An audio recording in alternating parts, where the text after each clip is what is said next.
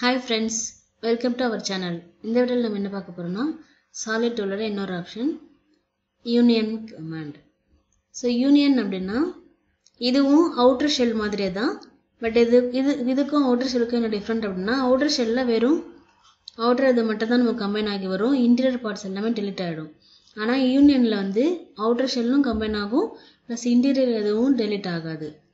So for example இப்போது union select பண்ணிட்டேன்.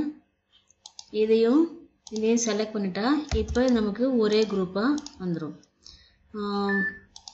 Another example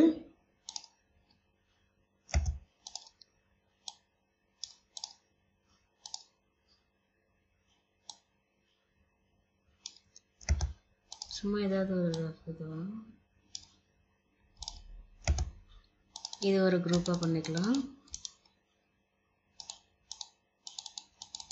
இது ஒரு குரூப்பாக பண்ணிக்கலாம். ஸோ இப்போ இந்த இதுவும் மூவ் பண்ணிக்கிறேன்.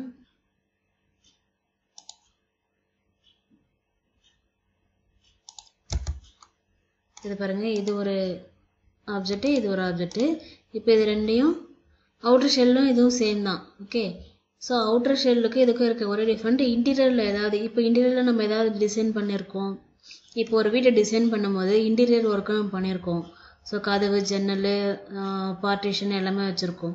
ஸோ அப்போ வந்து அவுட்டர் ஷெல்லில் கொடுத்து நீ ஜாயின் பண்ணும்போது இன்டீரியர் இருக்க மொத்தமே டெலிட் ஆகிடும் இதே யூனியன் கொடுத்து நீங்கள் ஜாயின் பண்ணும்போது இன்டீரியர் இருக்கிறது அப்படியே இருக்கும். வெளியே இருக்க அவுட்டர் மட்டும் ஜாயின் ஆகும்.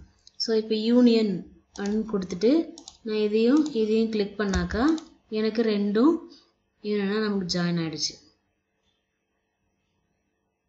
ஓகேவா இந்த மாதிரி தான் நம்ம ட்ராயிங் பில்டிங் ட்ரா பண்ணும்போது இன்னும் பர்ஃபெக்டாக எக்ஸாக்டாக நம்ம எப்படி அதை யூஸ் பண்ணுறோம் பில்டிங்ஸ்லன்னு இப்போ ரூஃப் வந்து எடுத்து வந்து இங்கே கம்பைன் பண்ணும்போது யூனியன் கொடுத்தா அது ஒன்றோட ஒன்று கம்பைன் ஆகி நமக்கு இன்டீரியர் எதுவும் அஃபெக்ட் ஆகாமல் நமக்கு